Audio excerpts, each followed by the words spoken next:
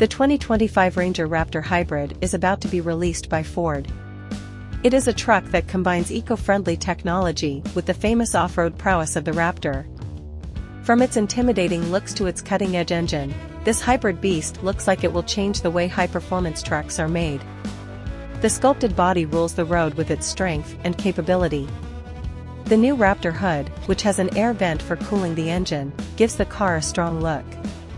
The truck is versatile, because its flared sides with vents can fit big all-terrain tires. The roof rack has LED light bars that light up the road ahead, and a new bumper with tow hooks on the back makes it even more useful.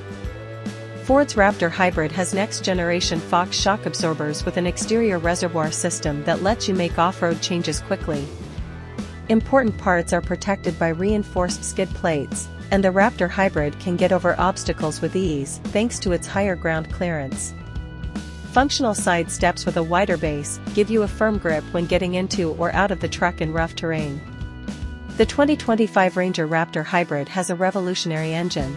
Ford hasn't said much about it, but rumors say it will have a strong twin-turbocharged EcoBoost gas engine and an electric drive. This hybrid system offers great performance and great gas mileage.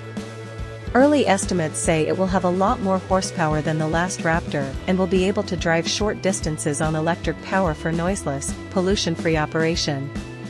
The smart all-wheel drive system works with the hybrid powertrain to give you better control and traction in rough off-road situations. The truck's performance can be changed for any journey thanks to its different drive modes, including a new e-terrain mode for electric off-roading.